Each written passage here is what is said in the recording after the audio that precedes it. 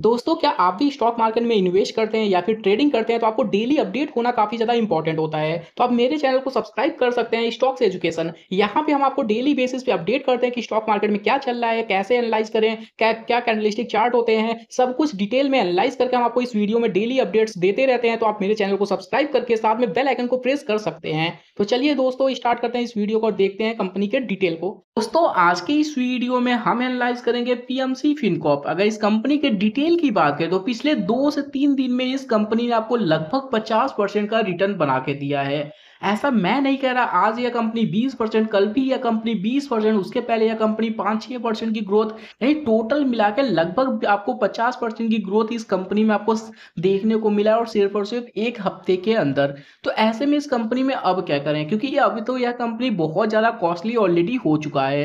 Company की are की बात करें तो नाइन्टी एबव हो चुका है। यानी कि यहाँ से इस कंपनी में गिरावट तो निश्चित है। तो ऐसे में इस कंपनी में क्या किया जा सकता है? जो लोग कंपनी में ऑलरेडी इन्वेस्टेड है मार्केट ओपन होता है, इस कंपनी का जो लोअर सर्किट का प्राइस है, उसको देखिए या फिर जहाँ पे यह कंपनी ओपन होता है, अगर यह कंपनी ओपन होता है अपने अपर सर्किट पे, दो परसेंट, तीन परसेंट नीचे अपना स्टॉप लॉस लगाए कंपनी को कंटिन्यू करें पूरे दिन के लिए। क्योंकि अगर यह कंपनी यहाँ से नीचे आता है तो ज़ाहिर सी बात है आपका स्टॉप लॉस हिट होते हुए नीचे जाएगा। उस टाइम बायर्स होते हैं, आपकी क्वांटिटी सेल हो जाएगी, आपकी प्रॉफिट बुकिंग हो जाएगी और आप टाइम से एग्जिट कर जाएँगे।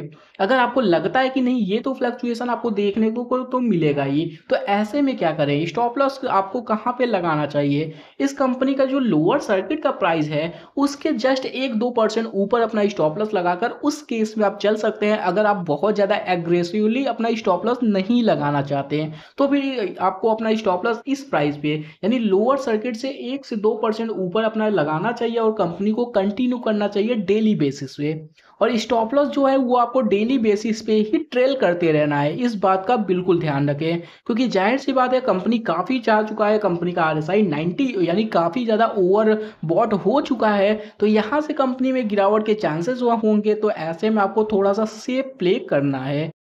क्या इस कंपनी में फ्रेश बायर इंटर हो सकते हैं? मेरे ख्याल से कंपनी ऑलरेडी काफ़ी जब ऊपर जा चुका है। तो ऐसे में अगर आप बाई करते हैं तो आप काफ़ी ऊपर बाई कर रहे हैं। तो इसीलिए अगर आप अवॉइड करते हैं तो ज़्यादा बेटर है। अदरवाइज़ अगर आप इसमें इंटर होते हैं तो अपना स्टॉप लॉस लगाकर कंपनी को कंटिन्यू कर सकते हैं। तो चलिए दोस्तों, आज के लिए इतना ही। वीडियो को लाइक करें शेयर करें सब्सक्राइब करें। Thank you for watching this video